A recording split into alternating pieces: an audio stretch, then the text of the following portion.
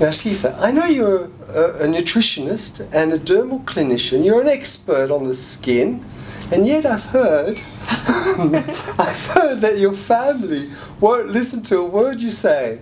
Is that true?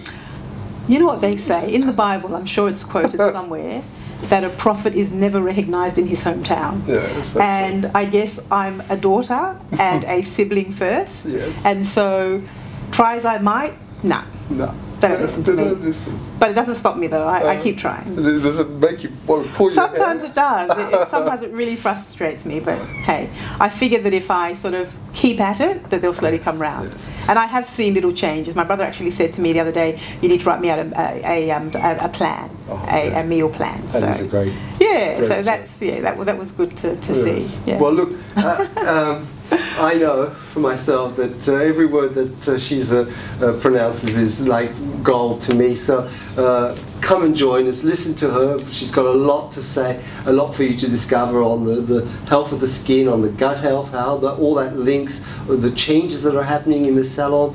Um, you won't you won't uh, regret one second of, of uh, her presentation. So I hope to see you there.